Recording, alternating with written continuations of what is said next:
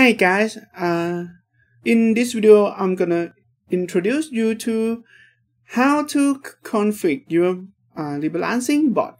So we have learned about rebalancing technique uh, before, right? So now I'm gonna guide you through how to set it up and make the bot trade. Uh, just uh, just to let you know that um basically I'm not a programmer.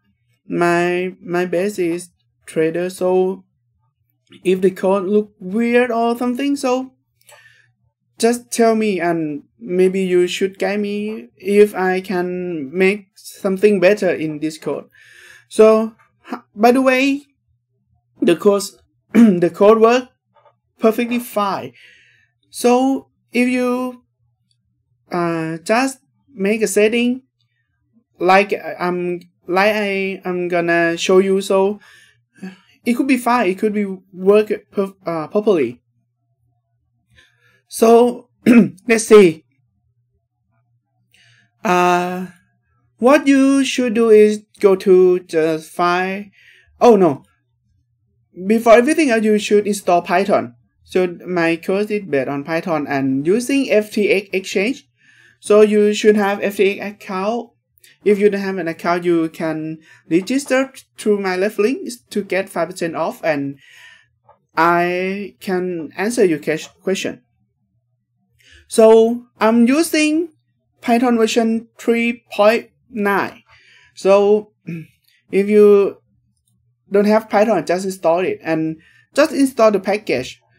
Uh, using pip install, you, you can find it about uh, package install in the internet. So here is all the package you're gonna use. So just install this package and let's see the config. So when you have an FTX account, you can get your API key and secret key. So uh, I'm gonna show you.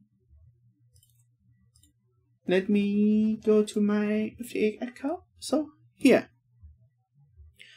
In your FTX account, you can go to setting and go to API tab and you can you can create API key for your account. Uh, the best thing of FTX is you can have your sub account which is separate from your main account. So I've had a lot of uh, sub account. So you can create API key here and copy API key and oh sorry and and put it here and put your secret key here and put your sub account name here. So that's all.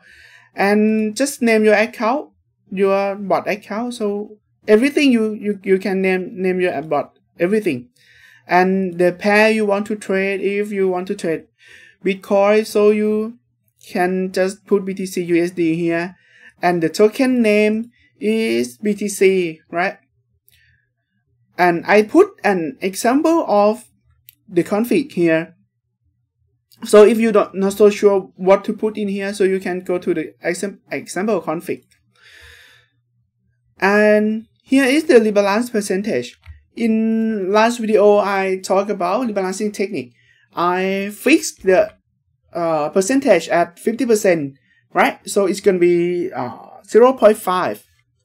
And minimum diff percentage is is if the asset value move about uh I don't know 0.5 percent right? It's gonna rebalance one time. So you can set it at uh, 1% or 2% or anything.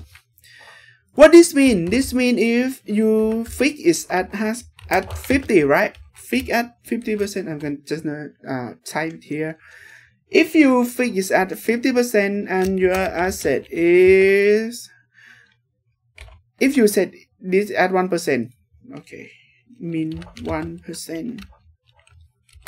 So if you figure that 50% and your asset is 59%, it's gonna rebalance, it's gonna make an uh, transaction, make, make a trade, I mean. And if you uh, set it at 2%, when the asset price is below uh sorry if your asset value is below 48 it's gonna liberalize it so that is quite simple. And by the way, you should you should be careful because and we talked about in the last video that maybe the minimum asset value let me see ah okay. Let's see doc yep. The minimum asset to trade for dog is 1 right? So the value the minimum value should not uh, below 0.5 that mean in here in your setting oh sorry. In your setting if your capital is uh, let's say 1000 you shouldn't set the minimum uh, min diff percentage here below uh, if you set set it at 2.5 percent so it's gonna be uh, okay let's, let's make it 2.5 percent. So every 25 uh, buck is gonna rebalance. If you set it at uh, zero, every 2.5 buck is gonna rebalance, right? But if you set this too low, too low, I mean, if you set it like a, uh, let's say zero, that is very low, right? If if you set it too low, it's gonna rebalance every two point uh 25 percent. But that is possible, right? Because the minimum uh diff is gonna be one unit at 0 0.5 uh 0 0.50 oh I mean 53 yeah. Oh sorry for my English. By the way and yeah just to let you know you you shouldn't have set it too low by the way it's based on your your capital.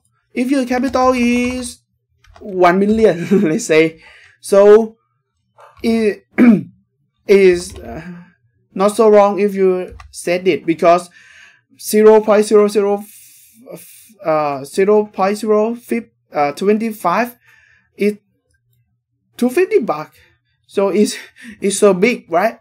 So it depend on many things. It depend on the minimum trading size of your asset and your capital. Okay, and that's all.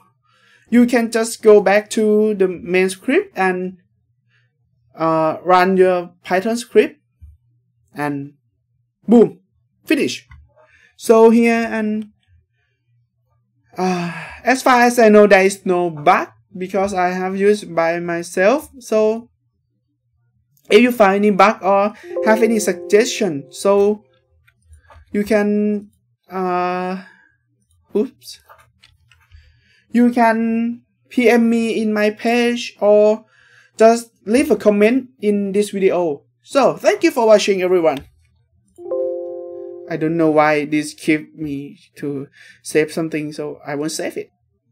Okay, see you in ne next video, guys.